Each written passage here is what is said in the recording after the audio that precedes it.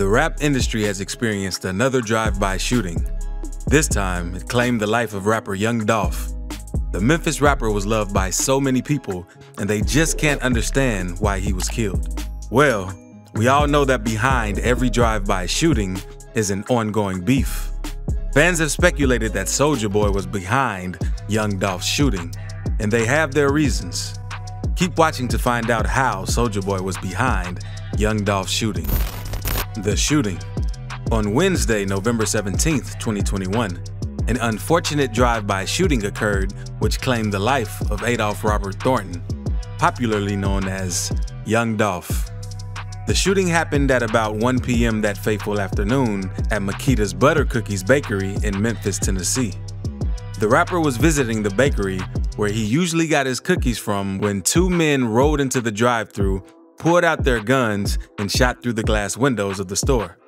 Sadly, the bullets hit the rapper and he lost his life. Young Dolph was a frequent customer at Makeda's bakery before his death. He enjoyed buying butter cookies from the store, and a couple of days before his death, the store posted a video of the rapper on their official Instagram page. Young Dolph was seen promoting the bakery's cookies in the video posted via their Instagram page. A lady was heard in the background saying, he always came over to the store and patronized them whenever he was in Memphis. The store owner, Maurice Hill, reported that the employees saw young Dolph walk into the store to buy some cookies, and shortly after he came in, someone drove up and shot him that afternoon. Dolph and another young man stood in the left corner of the store on their cell phones and never saw it coming. Maurice drove up to see his workers raising their heads from ducking bullets the police released a statement where they described the killing of young Dolph as senseless. The police statement, which was declared by Memphis Police Chief Cerelyn CJ Davis, read, This shooting is another example of the senseless gun violence we are experiencing locally and nationwide. Our hearts go out to the Thornton family and all who were affected by this horrific act of violence. Memphis Mayor Jim Strickland also released a statement. He said, the tragic shooting death of rap artist Young Dolph serves as another reminder of the pain that violent crime brings with it. My thoughts and prayers are with his friends and family. Before his death, Young Dolph was going through a rough phase. According to a post on his Twitter account on October 20th, Young Dolph said a doctor told him that he needed some time to himself. The tweet read, I never knew what anxiety meant until my doctor just explained to me that I have it this morning. In an August tweet, he said, Still can't believe I got to where I am in life. Still feel unreal. The death of Young Dolph was a huge blow to the Memphis community and a shock to the rap industry. Since the rapper has been involved in several shootouts organized against him by rival rappers, many fans believe that this was the doing of one of the rappers he had beef with. One rapper that fans keep talking about is Soulja Boy. The two rappers had an ongoing beef before Young Dolph's death, and many fans suspect that he's behind the shooting of Young Dolph, and they may not be wrong. Soulja Boy beef. Shortly before Young Dolph's death, he got into an online argument with Soulja Boy, which Soulja Boy ranted about a lot.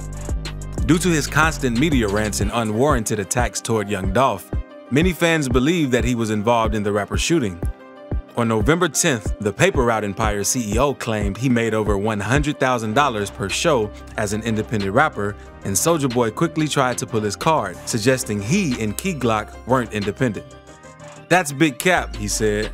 They signed to Empire. I'm really 100% independent, no cap. Key Glock responded to Soulja Boy's claim the next day via an Instagram live video where he attacked Soulja Boy. Soulja Boy felt triggered by the post, so he made his own Instagram video where he said, Man, Young Dolph, if you don't get your artist out my mother, DM, he said, you talking about? Thought he was bulletproof until he got shot like Dolph. Ain't you the that got shot at a hundred times, that got popped and shot at all the time? Now fans were really certain that Soulja Boy was behind the shooting because shortly after Young Dolph's death, Soulja Boy used the shooting as a reference to warn rapper Trouble. It all began when Soulja Boy tweeted about the release of his song Stretch Some. Trouble attacked Soulja Boy in a tweet where he said, I like the little silly Soulja be doing time to time. It's entertainment. I get it. Don't be no and drop no song called Stretch Something the next day as if you got active in my dog losing his life, dude. That's love, bruh, Soulja Boy. And you know what's in with me. Soulja Boy replied his tweet saying, That song been out, but what you wanna do? You sound touch as hell on the internet. you talking about? Police at Trouble DTE? But he didn't stop there. He went on to issue Trouble an open warning that would most likely keep him strapped up for a while. He tweeted, Boy, you could be next at Trouble DTE. The fans and the entire public suspicion of Soulja Boy's involvement in Young Dolph's death caused him to be removed from two shows on the 2021 Millennium Tour. One of the shows he was removed from, it's set to hold in Memphis, and apparently he was removed for precautionary reasons. I mean, it's only right that they do. We don't want another rapper getting shot, and we all know that's an easy peasy business in Memphis. Anyway, Soulja Boy wasn't having it at all. He went on the media rant on his Instagram live where he said, Y'all mother then got me took off the Memphis show like Young Dolph dying got something to do with me. What the Young Dolph dying got to do with me? That's what the I'm trying to figure out. G Squared Events, who put on the tour, recently released a statement about the decision to pull Soulja. The safety and welfare of our patrons are the first and foremost priority, the statement read. We pride ourselves on bringing high quality concert experiences to our patrons. In times like this, we will stop at nothing to ensure that everyone that participates in these experiences is healthy, safe, and quite frankly, having a good time. Soulja Boy refused to share his condolences on Young Dolph's death because according to him, members of the Paper Route Empire's team were in his DMs threatening him just days before Dolph's death. All of these have caused the entire public to keep an eye on the rapper regarding the shooting of Young Dolph. Vigil shooting. It turns out that even after his death, whoever Young Dolph had beef with didn't want his passage to be easy, and they didn't even want his fans to mourn him. Fans from his home city, Memphis, gathered right outside Makeda's Bakery, where the shooting happened to hold a vigil for Young Dolph.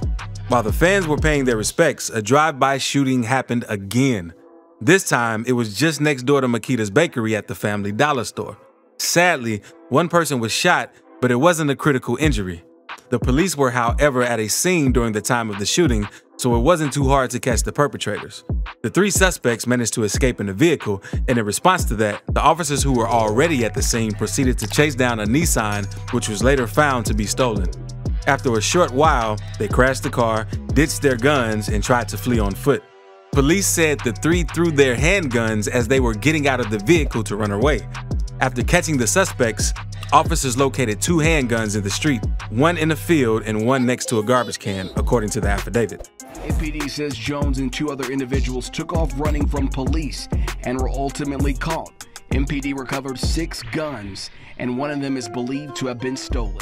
They also located two firearms inside of the car, the suspects were taken into custody and charged with aggravated assault, evading arrest, three counts of possession of a prohibited weapon, two counts of reckless endangerment, two counts of theft of property, and six counts of unlawful possession of a weapon. The witnesses at the shooting dropped their statements, and some chose to stay unidentified.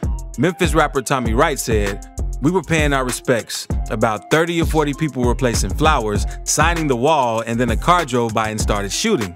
He also said that the victim was shot in the inner thigh and others at the scene called 911 and helped him up to the hospital. Another witness said, Everybody, man, just scattered and hit the ground. They've blocked off the whole scene. It's become another crime scene all over again. A woman who chose to withhold her identity said, My life was in danger because I don't even have anything to do with it, and I'm just up here paying my respect. And it was like, Lord, I can't get killed. I can't get shot because I'm a grandma.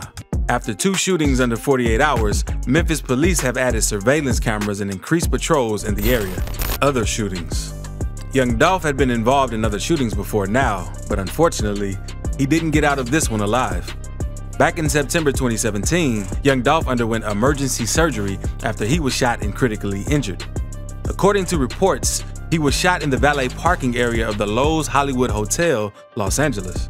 He got into an argument with three men and when they got heated, one of them pulled out a gun and shot at him. Before they could hit anything vital, he managed to run into a shoe store where he hid until the medics came. Two of the men ran away while the third man escaped in a gold-colored car, which was later found abandoned at a nearby gas station by the cops. That wasn't the only shooting he was involved in that year. In February, he managed to escape from a shooting unscratched as the SUV he was driving in while the shooting was happening was bulletproof.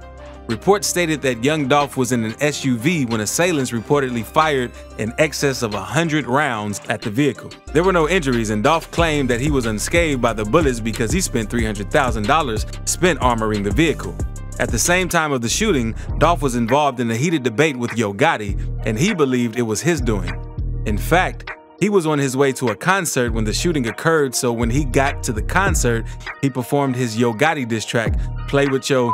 He went on to release an album after the shooting with a string of songs titled 100 Shots, In Charlotte, and But I'm Bulletproof. It, however, turned out that Yo Gotti wasn't directly involved in the shooting, However, his protege Black Youngsta turned himself into the police.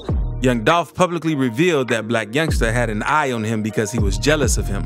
The police took the statement up and traced Black Youngsta in connection with the Charlotte shooting. A warrant was issued for his arrest, but he, however, turned himself into the police alongside two others. Young Dolph family reaction. The young rapper Young Dolph, who was only 36 years old at the time of his death, left behind two kids and a girlfriend who he was planning on getting married. He also had other families, including his mother, siblings, aunts, and cousins.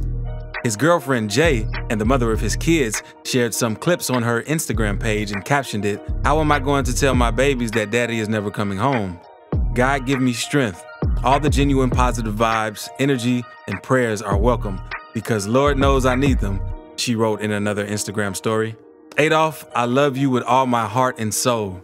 Jay also promoted a GoFundMe account that was set up for Makeda's Bakery. Adolph lost his life supporting a small business that has purpose, located in the very neighborhood that raised him, she wrote.